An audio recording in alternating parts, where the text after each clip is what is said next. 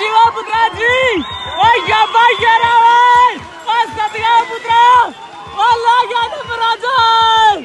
ओ याबा यारा ओ ले